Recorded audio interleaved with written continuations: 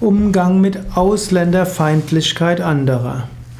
Ausländerfeindlichkeit ist leider ein Thema, das momentan gerade wichtig ist. Es ist das Jahr 2016, April.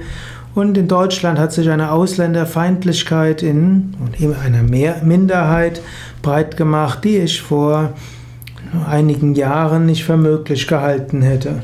Sogar in Yogakreisen meine ich manchmal Ausländerfeindlichkeit zu spüren, was eigentlich sehr paradox ist, denn Yoga ist eigentlich das zivilisationsübergreifende Mittel überhaupt. Die großen Yogameister von Swami Vivekananda über Swami Shivananda, Paramahamsa Yogananda haben immer wieder betont, die ganze Welt ist eine Gemeinschaft.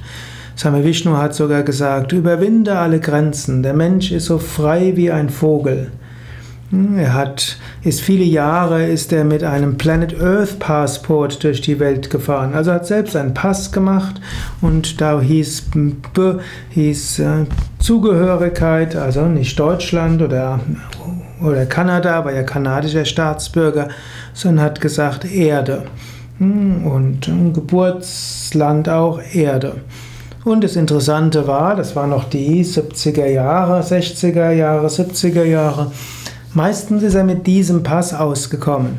Es gab sogar alle möglichen Grenzbeamte, die das ganz lustig fanden und dort einen sogar ein Visum reingestempelt haben.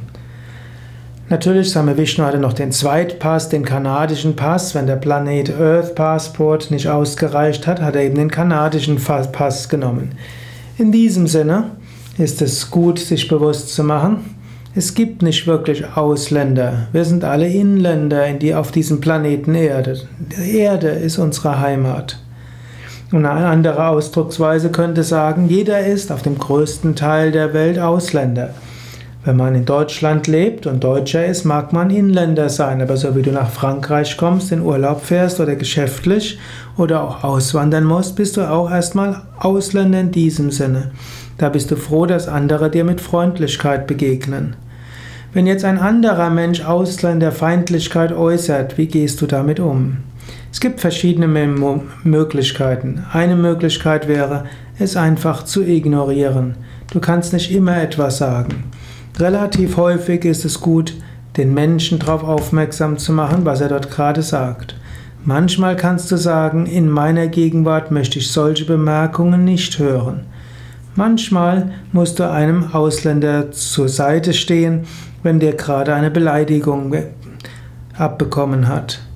Es ist nicht so einfach und ich finde es einfach traurig, dass es immer noch und wieder stärker Ausländerfeindlichkeit in Deutschland gibt, in einem Land, das Menschen im 20. Jahrhundert so viel angetan hat, dass die Deutschen stattdessen freundlich sein sollten auf Generationen und dankbar sein sollten, dass andere sie wieder in die Völkergemeinschaft aufgenommen haben.